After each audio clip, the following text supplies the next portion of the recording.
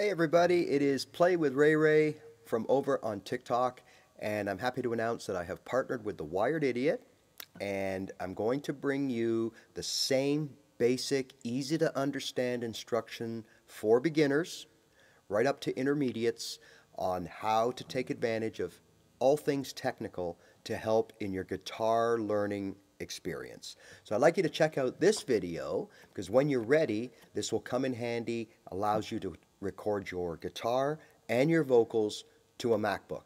All right? So enjoy. If you like what you see and hear, please subscribe and tell a friend because there's all kinds of cool things coming down the tube. Hey, welcome everybody. Uh, this is Ray, the Wired Idiot, and as you know, I like to make easy to understand tutorials about all things gadgets and gizmos aimed at musicians of all levels and all ages that want to get online but don't know how. It can be intimidating. It can be very, very confusing, as I found out years ago. Um, so I like to try to break things down as easy as possible uh, for you and give you some kind of guidance, all right?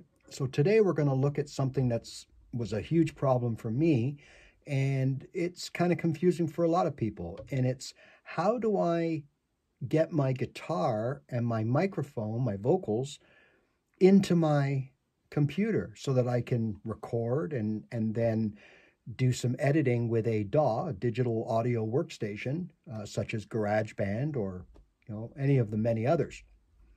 Well, it can be a little confusing because your guitar and your vocals take these cables in and out.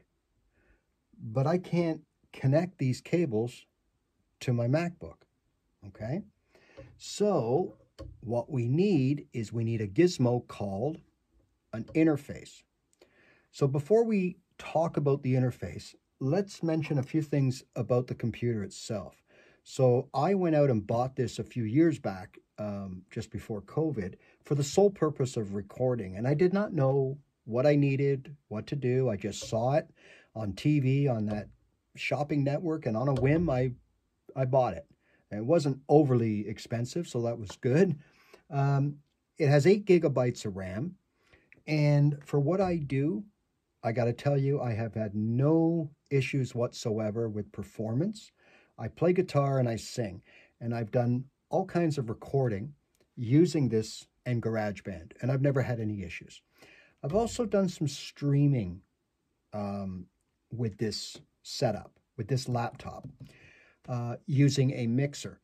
And I found that while the audio was no problem, the video was a bit of a problem. I used OBS, and while it was okay, I was very limited in the resolution I could put out, the size of the, the video, and, and its quality. So uh, I found out it was because of, um, you know, basically an average or even sub-average uh, video card, capture card that's in this thing, and thus why it was, I guess, cheap, okay? So I recommend moving forward, if you're going to do a lot of recording and a lot of streaming, I would recommend 16 gigabytes of RAM just to be safe. You'd be fine for audio, but for the video, and a higher end graphics card. And I'm sure that wherever you buy your Mac, you tell them what you're going to do, and they'll give you the recommendations, um, you know, for what you should have in it for hardware. Okay, so that's that's my advice as far as your computer. Other than that, everything was just fine. Now, as far as the interfaces, there are all kinds of different ones out there. Um, every company has its own version of this. Uh, what you're really paying for really is the amount of inputs, simultaneous inputs, okay? So what this means, I have two.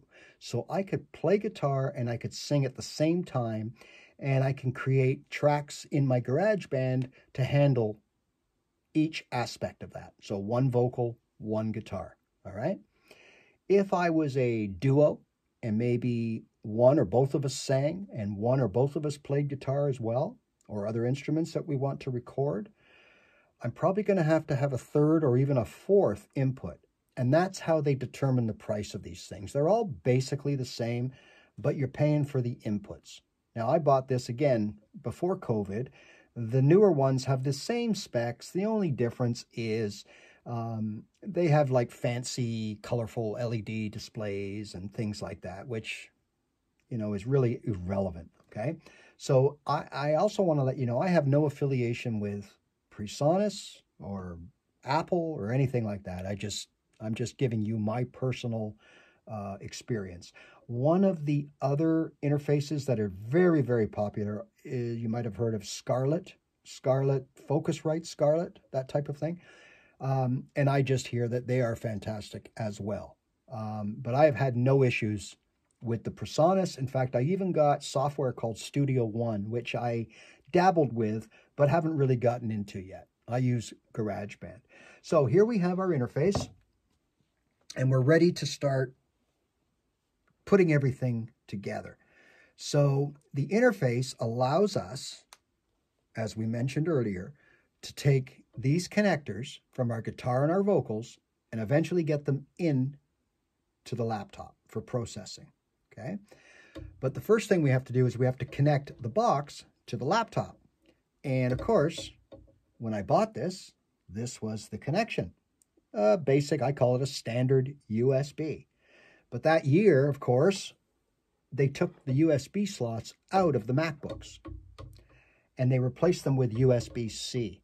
So this would not fit into my laptop. So I had to go out and get what they call a hub. I got this on Amazon. It's approximately, uh, I think I paid about 40 or 40 bucks for it, that type of thing. It gives me extra regular USB slots, gives me uh, an HDMI out, it gives me Ethernet in, it gives me a few card readers. It's kind of a handy little gizmo. And unfortunately, in this case, it's necessary. So what we do now is we take our interface connection, and we plug it into our hub. And if you noticed, a little blue light came on. So now it's powered up. So this is like, think of it as a condenser mic in that um, there's no on and off switch, but you activate your phantom power on your mixer and it drives the microphone. So that's what's happening here is we're getting power from the laptop to fire this up, okay? If you're using an iPhone or an uh, iPad, when you first plug this in and again, you will need a, a, a little adapter, okay? It's called a, an Apple camera kit, and it allows you to plug a USB into that kit, which then goes into your lightning port at the bottom of the phone or the iPad. Don't be alarmed if the light doesn't come on right away because sometimes it just takes a few minutes for the iPad to put some power into this thing for whatever reason. So when I first tried it on my iPad, it didn't work. But here, here I am panicking, and then three, four minutes later, boom, my light went on and I was in business. All right. So we now have our interface connected to our laptop. And a quick tour of the interface will show us, as we've already talked about, we've got two inputs. We've got a phantom power button for condenser mics. These knobs up here, we have a main output volume, and that is only comes into play if we have something going out of the main outs in the back. We have MIDI in and out, which we're not using. We have our headphone jack, and we have our USB connection, which we are using.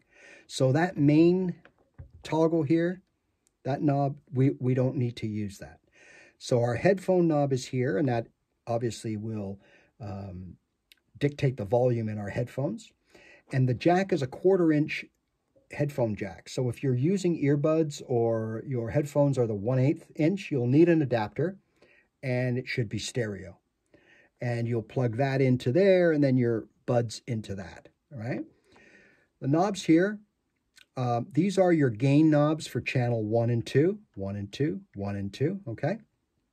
I've got them set to my last recording project, so they're going to be pretty accurate when we get into GarageBand. And this one here is your, like your pan. So on a mixer, you can pan the channel left and right to come out of one ear or the other. So in this case, if I pan it all the way left, I'm only going to hear what's plugged into one, which in my case will be vocals. And if I pan it all the way here, I'll only hear the guitar because I have that in uh, two, all right? So I keep mine in the middle, right? So that's really all there is to that device. And we simply take our instrument and our vocal cable. So we'll do, remember, vocals one. There's our XLR cable. And then my guitar will go into two. So now we are completely hooked up, ready to go. The only thing left to do now is to open up GarageBand and make sure that every the Mac and the GarageBand is reading the input from our interface. So we'll open up GarageBand and we will, there we go. All right, so this is the last project that I was working on. We'll get rid of that just to make it easier. Uh, we'll close that. And here we go again. New project. Okay, so we're going to choose. Now, before we do that, now, this is a GarageBand thing, but I'm sure every DAW works the same. There'll be an area that asks you some questions. What's the key signature? What tempo is the song? Uh, the relevance is that of that isn't overly important, but if you're going to do things post-production, like um, you want to change the pitch of a song or you want to change the beat or tempo, it uses this information if you want to change the key or whatever, it uses that information as the base information. But very important down here, it says input device and output device. So right now we see that it's audio box in and audio box out, and that's what we want. If you don't see that there, it could be in one of these boxes, so you want to look for those, all right? Uh, but in this case, it has detected, as it usually does, and we're good to go. Okay, so I select new project, choose, and it will open up this box which says, what do you want to do?